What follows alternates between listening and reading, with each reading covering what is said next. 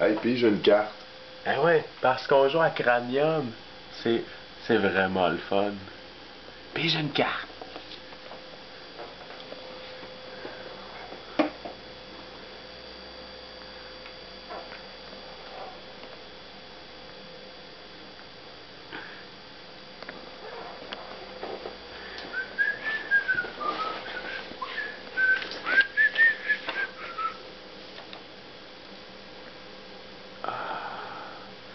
j'aime vraiment, vraiment.